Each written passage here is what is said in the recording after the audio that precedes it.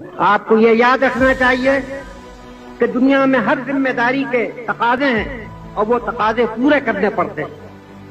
दुनिया में ठोकरें उन्हीं को लगती हैं कि जो चलते हैं, जो पाँव तोड़ कर बैठ जाते हैं, उन्हें कभी ठोकर नहीं लगती। भारतीय तारीख में एक ऐसा नाम जिसने कम सिन्नी में अपनी जहानत फितानत से मुल्क कौम को हैरान शस्तर कर दिया।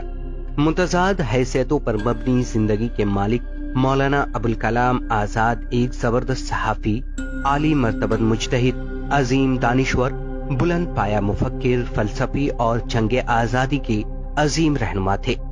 मौलाना अबुल कलाम आज़ाद की पैदाइश 1888 में मक्का मुआजमा में हुई।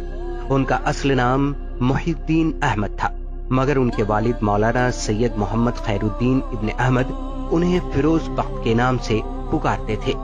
अपने वालिद से इब्तदाई तालीम हासिल करने के बाद आज़ाद मिस्र की मशहूर दरसगाह जामिया अजहर चले गए, जहाँ उन्होंने मशरकी उलूम की तकमील की।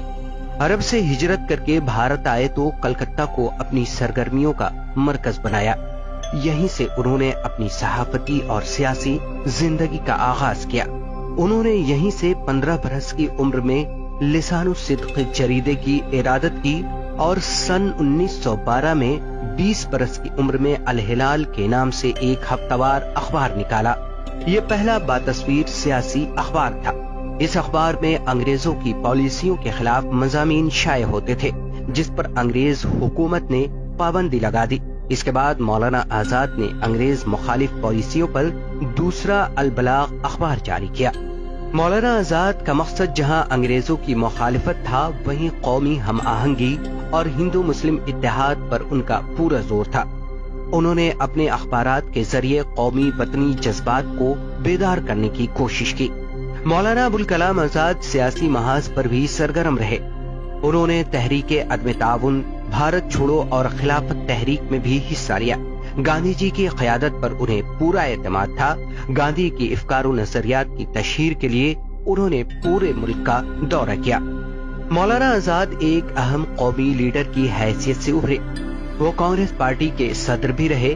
तहरीक आज़ादी के दौरान उन्हें जेल की मशक्कतें भी सहनी पड़ी। भारत की आज़ादी के बाद मौलाना आज़ाद मुल्क के पहले वज़ीर तालीम बनाए गए। उन्होंने वज़ीर तालीम की हैसियत से बहुत से अहम कारनामे अंजाम दिए। यूनिवर्सिटी ग्रांड कमीशन और दीगर तकनीकी, तहकीकी और सकाफती इदारे उन्हीं की देन है। मौलाना आज़ाद सिर्फ़ एक सियासतदान नहीं बल्कि एक साहिब तर्ज अदीब, बेहतरीन सहाफी और मुफसर भी थे।